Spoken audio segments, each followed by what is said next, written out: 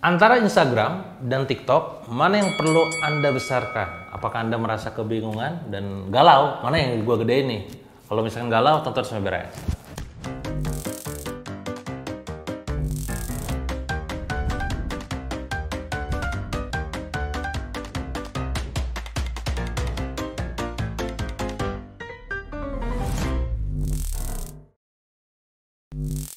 Oke teman-teman semua, di era zaman digital seperti sekarang, pertumbuhan sosial media itu sangat-sangat masif. Ya, sekarang banyak sosial media yang bermunculan.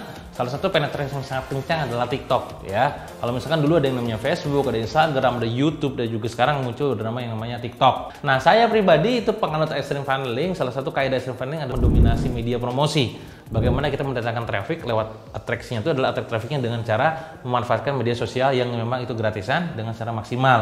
Saya juga aktif di Facebook, followers lebih dari 300 ribu. Saya juga aktif di Instagram, follower lebih dari 7 ribu. Aktif juga di TikTok dengan 1 juta follower dan juga YouTube dengan 400 ribu subscriber. Ini samain semuanya dan saya insya Allah bisa menilai secara objektif mana yang memang menarik, yang interest, yang memang layak untuk kita besarkan. Nah, kalau pertanyaan adalah seperti pertanyaan yang tadi saya sampaikan di awal, antara Instagram dan juga TikTok, mana yang memang layak untuk dibesarkan? Maka jawabannya adalah tergantung.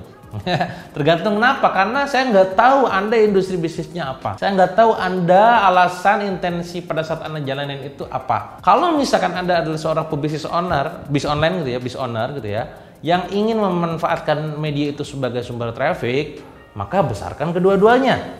News of N, jangan milih salah satu. Jika seandainya ada seorang content creator yang, nah yangnya tergantung ap apakah orang yang suka ngomong dibanding nulis, yang suka ngomong di depan kamera dibandingkan nulis, yang suka spontan, maka TikTok lebih worth it untuk Anda besarkan karena itu adalah passion Anda. Ingat, dalam kaidah kompetensi, Anda tuh nanti ada berhadapan dengan tiga poin. Pertama adalah minat. Minat adalah apa yang Anda sukai ya walaupun bisa jadi tidak anda punya anda tidak punya kemampuan di situ ya. Misalkan saya suka sepak bola saya suka bulu tangkis saya suka berenang tapi saya tidak punya kemampuan untuk melakukan itu. Berarti adalah artinya minat. Yang kedua adalah bakat. Bakat itu apa kang? Bakat adalah apa yang kita mampu melakukannya. Walaupun bisa jadi kita tidak suka. Contoh dalam diri saya adalah nulis. Aslinya saya tuh gak suka nulis tapi ternyata Allah kasih saya kemampuan untuk menulis. Ya sudah, akhirnya saya paksakan diri saya untuk mampu menulis. Sehingga apa? Ketika saya melakukan apa yang tidak saya suka, setidaknya saya tidak egois. Allah sudah kasih saya gift di situ, gitu loh ya. Yang kedua adalah bakat. Nah, pertanyaannya adalah apa yang sifatnya itu Anda bisa melakukannya walaupun Anda nggak suka. Nah, yang ketiga nanti adalah passion. Apa itu passion yang justru bakat dan juga minat. Pertemuan antara minat dan bakat itu akan ketemu di passion. Nah, sebisa mungkin ya pada saat Anda memainkan sosial media sebagai content creator, sebagai seorang influencer, Anda punya passion di situ. Anda lihat gak? Saya TikTok saya nggak begitu jalan ya, karena saya termasuk orang, walaupun saya ngomong kayak begini bisa lancar gitu kan, tapi kalau untuk yang sifatnya tuh bikin video tek tek teknis teknis begini, itu saya tidak terlalu gimana ya, nggak interest gitu loh. Akhirnya saya lebih suka nulis. Ya sudahlah, saya punya kemampuan nulis, Instagram saya, saya kalau misalkan dikasih satu jam bisa bikin konten untuk dua minggu ke depan misalkan ya bisa tuh saya tabung gitu ya. Baik lagi ke pertanyaan, kalau misalkan anda tuh lebih suka ngomong, lebih suka to the point langsung gitu ya, eh, dan berhadapan dengan kamera, silakan main di TikTok. Itu pertimbangan atas diri personalnya. Kalau memang anda lebih suka nulis, anda tidak suka menampilkan wajah, lebih tidak tidak suka eksis, silakan main di Instagram, bermain di tulisan dan gambar, ya. Itu pertimbangan personal. Kedua adalah pertimbangan pasar. Jadi yang P atau P pertama adalah personal, kedua adalah pasar. Pasar Anda ngumpulnya di mana? Kalau kita perhatiin TikTok sama Instagram itu dua pasar yang berbeda. Ya Instagram itu adalah orang-orang yang mungkin bisa jadi generasi milenial. Milenial yang bukan bisa jadi orang-orang yang usianya di atas 35 pun masih muncul di Instagram.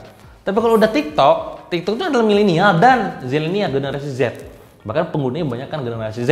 Walaupun sekarang ibu bapaknya udah mulai masuk ke TikTok juga gitu ya. Nah maka kalau pasar Anda adalah menyasar pasar milenial, pasar uh, yang sifatnya tuh zilenial, generasi Z, monggo TikTok dimainkan. Bisa jadi di situ ada duitnya. Tapi kalau misalkan Anda kayaknya nggak ada ya, gua mah kayaknya nggak menyasar orang generasi 20 tahun ke bawah, ya udah main Instagram. Di sana lebih apa lebih ya lebih masuk akal lah gitu ya orang-orang usianya tuh masuk akal. Itu pertimbangan pasarnya. Ketiga, yang perlu ada pertimbangan adalah circle Andanya. Anda dengan orang-orang yang ada di sekitar Anda tuh itu main di mana? Coba cek deh. Para artis, teman-teman, selebritis, youtuber itu tidak main Facebook kan saya rasa. Tapi entah kenapa emak-emak Imars itu main Facebook. Kenapa? Karena circle-nya main Facebook juga gitu loh. Kalau kalau influencer mainnya di mana? Di Instagram dan YouTube. Tapi cek coba influencer, selebgram juga artis main TikTok dikit. Dan yang menarik adalah youtuber yang sukses main TikTok belum tentu sukses. Benar nggak? Anda cek follower dia. Artinya TikTok ini bisa melahirkan new star, rising star baru gitu loh. Artinya apa? Dunianya memang beda gitu loh. Nah, Anda mau circle Anda mau main yang di mana nih? Nah, saya berusaha untuk main di semuanya. Makanya ketika ngomong sama orang Facebook ya saya dekat sama mama dan juga para imers. Ketika ngomong sama artis, selebritis, influencer gitu, ya sama Instagram saya juga DM-DMan ya, ada centang birunya juga gitu kan.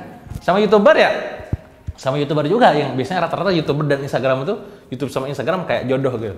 Tapi TikTok coba cek siapa artis di TikTok yang muncul dari TikTok itu jarang yang mereka sudah akses di YouTube dan yang lain kecuali dia giring pindahi pindahin gitu ya. Tapi orang TikToknya sendiri ya anak-anak muda banyak orang-orang baru gitu loh. Nah kalau anda mau membangun circle dengan mereka ya monggo.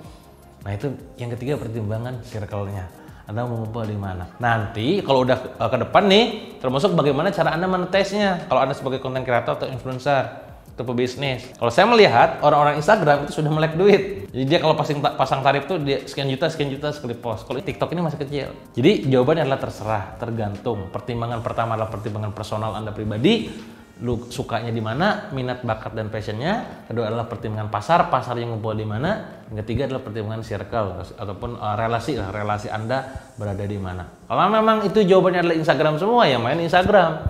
Kalau TikTok semua ya main TikTok. Kalau dua-duanya main dua-duanya. Ya, kalau saran saya sih ekstrim link main kedua-duanya ya.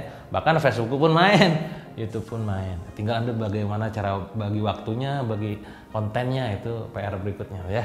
Moga nanti ikutan aja workshop yang extreme funding base berikutnya ya. Syukur-syukur nanti bisa ada online-nya juga ya kalau misalkan pandemi offline itu nggak mungkin kan ya. Itu aja mungkin dari saya teman-teman. Terima kasih semoga manfaat buat Anda semua. Sampai, sampai jumpa di video berikutnya.